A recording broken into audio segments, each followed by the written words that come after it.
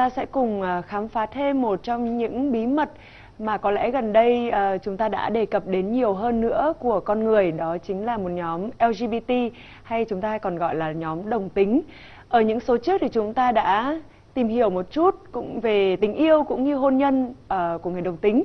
Thế nhưng ngày hôm nay thì chúng ta sẽ đi sâu hơn một chút một cái phần mà có lẽ rất nhiều người không chỉ là đồng tính mà cả dị tính cũng rất quan tâm đó chính là tình dục đồng tính. Thì như thế nào? Và ngày hôm nay thì chúng ta đã mời đến trường quay à, một vị khách mời cũng rất là quen thuộc đó chính là bạn Nguyễn Ngọc Tú một nhân vật à, rất nổi tiếng trong cộng đồng LGBT Việt Nam và cũng có nickname là Tú Lơ Khơ. Mặc dù đây là một chủ đề rất là nhạy cảm nhưng mà luôn luôn bạn rất là hạnh phúc để có thể chia sẻ được để mọi người hiểu thêm về Ờ, uh, LGBT có đúng không?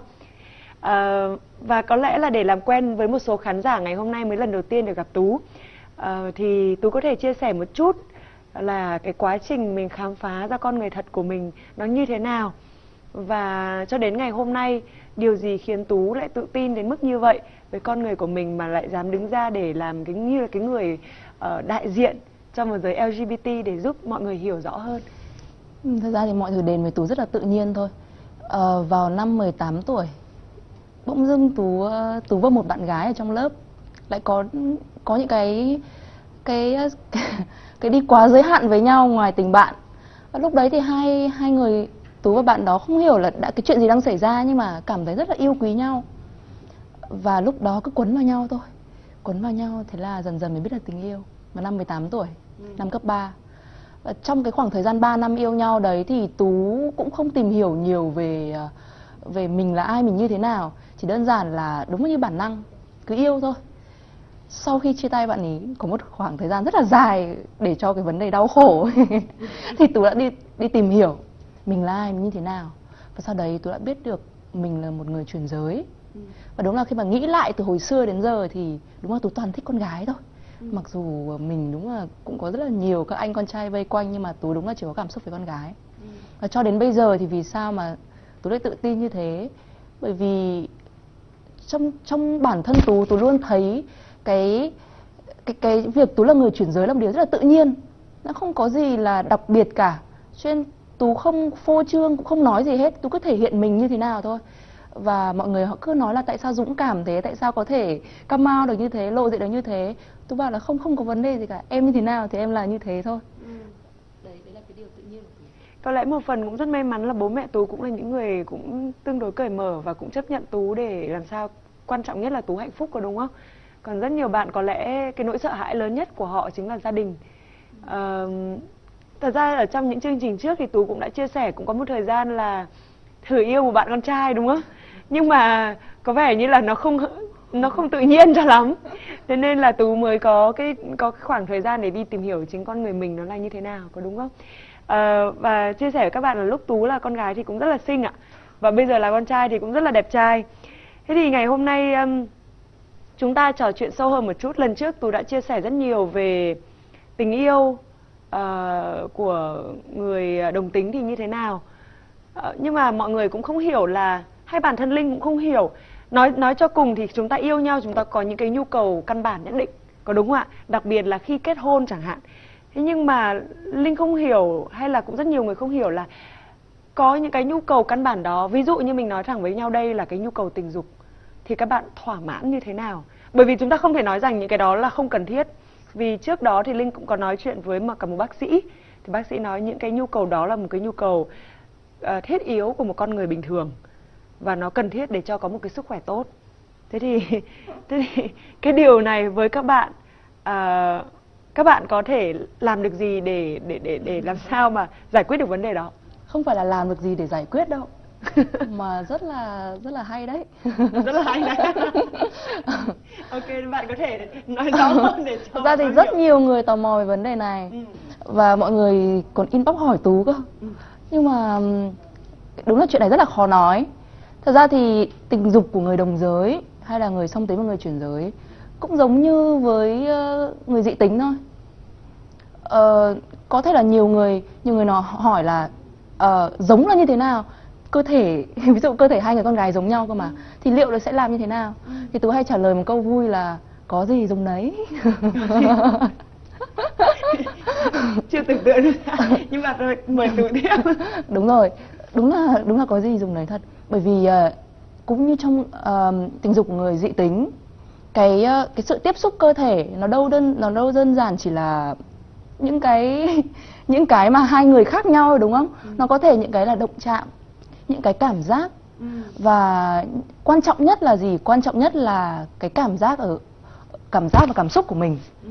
tôi ví dụ như thế này có nhiều người cứ bảo là không hai người con trai và hai người con gái làm sao mà uh, có thể gì đó được với nhau. Nhưng mà tôi ví dụ tôi hay ví dụ cho người ta nghe là ví dụ một anh bộ đội anh ấy ờ, đi bộ đội về anh ấy bị chất độc màu da cam hay là anh bị làm sao đó trong chiến tranh và anh ấy bị uh, hỏng mất cái bộ phận sinh dục không làm gì được. Nhưng điều đó không có nghĩa là anh là gay ừ. mọi người có hiểu không ạ? Hiểu, điều hiểu. đó không có nghĩa là anh là gay anh vẫn là một người đàn ông mà. Không có nghĩa là anh hấp bị hấp dẫn bởi bởi đàn đúng rồi. với đàn ông. Đúng rồi. Có nghĩa là gì? Cái về mặt cơ thể thì nó không quyết định được cái giới tính. Mà đơn giản chỉ là quan trọng là bạn nghĩ gì trong đầu và bạn cảm thấy như thế nào. Ừ. Đó và có thể anh ấy vẫn quan hệ với vợ anh anh ấy được chứ. Bằng cách nào thì anh ấy tự biết chứ. Ra là ở một chương trình như này tôi thật sự tôi rất muốn hỏi cụ thể nhưng mà có vẻ nó nó hơi nhạy cảm quá thì phải. Thế là bây giờ thế, thế các bạn làm thế nào để giúp cho nhau đạt được cái sự gọi như là thăng hoa trong cái việc giường chiếu chẳng hạn vì nói thật là linh cũng chưa có trải nghiệm. Đúng không ạ? Và tất nhiên là rất là muốn hiểu hiểu rõ hơn bởi vì là càng hiểu thì mình càng phải cảm thấy tự tin hơn khi mà mình tiếp xúc với người khác. Um, như mọi người đã biết thì cái cái cái vấn đề thăng hoa ấy nó nó nó không đơn giản chỉ là cái sự động chạm nữa ừ. mà nó còn là về mặt cảm xúc trong cơ thể trong trái tim rất là nhiều. Uh, đầu tiên là chỉ cần hai người yêu nhau thực sự có cảm xúc với nhau thì chạm vào nhau đã thấy thích lắm rồi ừ. còn về vấn đề thăng hoa thì có thể là hai người con trai và hai người con gái bởi vì họ cùng có cơ thể giống nhau cho nên có có lẽ là họ hiểu nhau hơn như tú tú rất là hiểu bạn gái mình muốn gì ừ. bởi vì cơ thể của tú cũng giống thế ừ. và và bởi vì tú hiểu cho nên tú cũng tú biết cách chiều tú biết cách chiều và okay. bạn gái của tôi cũng thế. Và ngày hôm nay chúng ta xem chương trình này chúng ta cần phải dùng não phải. Não sử dụng gọi là trí tưởng tượng và óc sáng tạo. Ok thế thì linh cũng muốn hỏi như thế này. Uh, một số người thì hay lo lắng rằng là khi uh, cái gọi là tình dục trong quan hệ đồng tính uh, nó đôi khi nó tiềm tàng những cái vấn đề như là bệnh tật. Thì có bao giờ mình lo lắng về chuyện đó hay không? Hay là mình có cái cách nào để tránh những cái vấn đề đó xảy ra Đúng rồi, quan hệ tình dục không an toàn thì nó không đơn giản chỉ là không an toàn ở ở đồng giới mà nó còn không an toàn cả dị tính nếu mà các bạn không biết cách bảo vệ. Dị tính hay là đồng giới thì đều phải an toàn thôi. Uh-huh. Ờ, chứ không phải là phân biệt là dị tính là là không cần thiết lắm còn còn đồng tính là phải bảo vệ cực kỳ không phải là như thế. Uh-huh. Nó nó giờ xem nó giống nhau thôi. Và uh, tất nhiên mọi người hay nghĩ là đồng tính nam hay đồng tính nữ thì sẽ dễ lây nhiễm hơn nhưng thật ra không phải là như thế. Ừ. bởi vì mọi người đang bị một cái định kiến là đồng giới là một cái gì đó thấp thấp chuẩn hơn ừ. so với dị tính. Còn cái biện pháp hay là những cái mà để bảo vệ uh, tình dục đồng giới thì uh, nó cũng giống như như dị tính thôi. Mình có thể sử dụng bao cao su uh, tất nhiên là đôi khi không cần phải sử dụng thuốc tránh thai và họ cần cái đó. Đó và sử dụng rất nhiều những cái thứ khác mà người dị tính dùng. Ừ. quan trọng nhất là chúng ta chúng ta biết cái người chúng ta quan hệ là ai ừ. và chúng ta biết cách bảo vệ bản thân mình cũng như là người bạn của mình. Theo số liệu thống kê người ta nói là trên toàn cầu chứ không chỉ riêng Việt Nam mình là số số người bị mắc những các căn bệnh uh, lây nhiễm qua đường tình dục. Mình không nói là ở giới uh, nữ hay là giới uh, lesbian với cả giới um, transgender hay là chuyển giới?